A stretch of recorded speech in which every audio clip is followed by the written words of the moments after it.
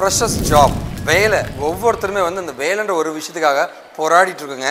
அந்த வேலையை பார்த்தீங்கன்னா வந்து நான் டிகிரி முடிச்சாச்சுங்க. நான் எப்படி வேலைக்கு போகிறது how a fresher can enter the IT job அப்படின்றது தான் வந்து ஒவ்வொருத்தருக்குமே ஒரு கேள்வியாக இருக்கும். இன்றைக்கி நம்ம பார்க்குறது பதினோரு சூப்பரான ட்ரிக்குங்க.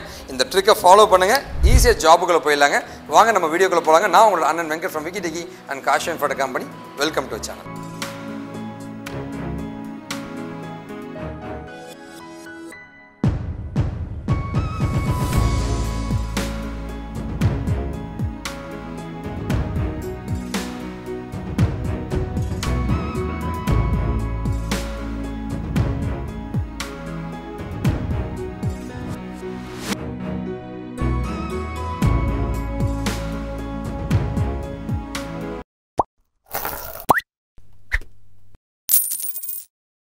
ஃபர்ஸ்ட்டுக்கு என்னன்னா வந்து ஃபைனலைஸ் த ஃபீல்ட் கரெக்டான ஃபீல்டை சூஸ் பண்ணிட்டாவே நீங்கள் ஜெயிச்சிட்டீங்க அர்த்தம் வாழ்க்கையிலங்க ஸோ நிறைய பேருடைய பெரிய பிரச்சனைனா வந்து சரியான ஃபீல்டை சூஸ் பண்ணுறதில்லைங்க ஸோ நீங்கள் எந்த ஃபீல்டில் போக போகிறீங்கன்றத முதல்ல சூஸ் பண்ணுங்க. நீங்கள் கேட்கலாம் அண்ணா ரைட்டான ஃபீல்டை எப்படி நான் சூஸ் பண்ணுவீங்க? அப்படின்னு கேட்டிங்கன்னா வந்து ரொம்ப சிம்பிள் தான்.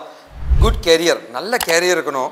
நல்ல ஃப்யூச்சர் க்ரோத் இருக்கணும் நல்ல சேலரி கொடுக்கணும் வெளிநாட்டுக்கான வாய்ப்புகள் ஒர்க் ஃப்ரம் ஹோம் இந்த மாதிரி எல்லா காம்பினேஷனும் இருக்க மாதிரி ஒரு ஃபீல்டை முதல்ல நீங்கள் சூஸ் பண்ணுங்க. இதுதான் என்னுடைய ட்ரிக் நம்பர் டூ நாம சூஸ் பண்ண ஃபீல்டில் வந்து நாம் ஸ்ட்ரென்த்தாக இருக்குமா?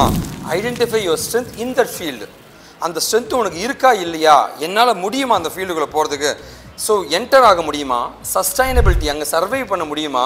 அண்ட் அதில் ஜெயிக்க முடியுமா? வின்னிங் சக்ஸஸ் இது எல்லாமே பண்ணக்கூடிய அந்த ஃபீல்டை முடிவு பண்ணிவிடுங்க இதுதான் ட்ரிக் நம்பர் த்ரீ ஃபீல்டை சூஸ் பண்ணியாச்சுங்க. அடுத்து என்னங்க பண்ணோம் ரெஸ்யூம் தயாரிக்கணுங்க.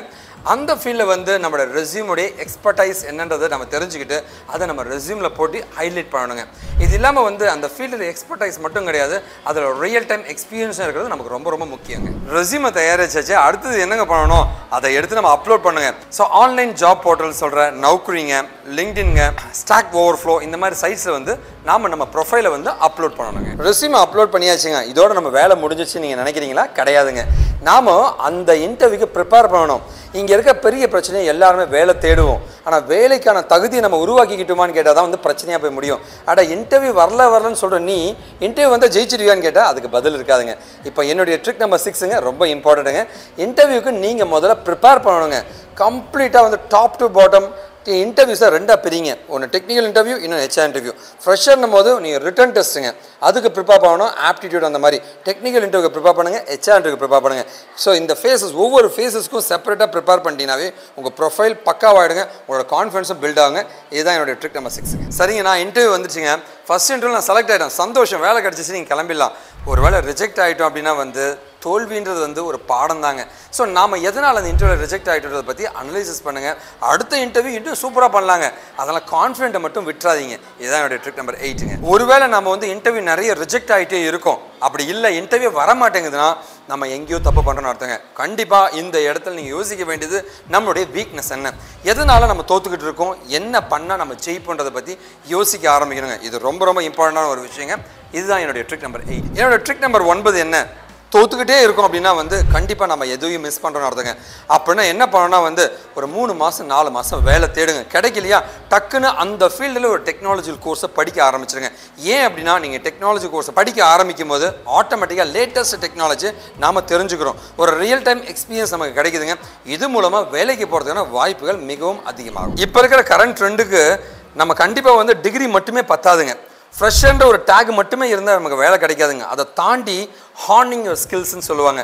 நீ எந்த அளவு அந்த ஃபீல்டில் எக்ஸ்பர்டைஸ் ஆகிற? அந்த காலத்துலாம் பார்த்தீங்கன்னா வந்து இப்போ நான் என்னுடைய காலேஜ் காலத்துலாம் பார்த்தீங்கன்னா வந்து கம்பெனிக்காரங்க எடுத்து ட்ரெயின் பண்ணி அதுக்கப்புறம் யூஸ் பண்ணிப்பாங்க. இப்போ அப்படி கிடையாது. ஆல்ரெடி ட்ரெயின்டு பீப்புள் எடுக்கிறாங்க. ஸோ நீங்கள் வந்து அந்த ரியல் டைம் எக்ஸ்பர்ட்ஸாக இருந்தால் மட்டும்தான் வேலை வாய்ப்புகள் உங்களுக்கு ரொம்ப ரொம்ப அதிகமாக இருக்கும். இதுதான் என்னுடைய ட்ரிக் நம்பர் டென் டெக்னாலஜியில் நம்ம ஸ்ட்ராங்காக சரியான ஃபீல்டுங்க சரியான கைடன்ஸுங்க சரியான டெக்னாலஜி எடுத்து சரியான விதத்தில் படிச்சோன்னா இங்கே இருக்கிற ஒவ்வொருத்தரும் ஜெயிக்க முடியுங்க. இங்கே பிரச்சனையே வந்து நமக்கு அந்த மனசு மட்டும்தாங்க. என்னால் ஜெயிக்க முடியும் ஒரு தன்னம்பிக்கையோடு போகிற ஒவ்வொருத்தருமே ஜெயிக்க முடியுங்க. ஸோ ரியல் டைம் எக்ஸ்பர்டைஸ் சரிங்களா? படிப்பு மட்டும் படித்தது மட்டும் எனக்கு பத்தாவது அதை நான் செஞ்சு பார்த்துருக்கோன்ற அந்த ரியல் டைம் நாலேஜ் இருக்கிற ஒவ்வொருத்தரும் ஜெயிக்க முடியுங்க.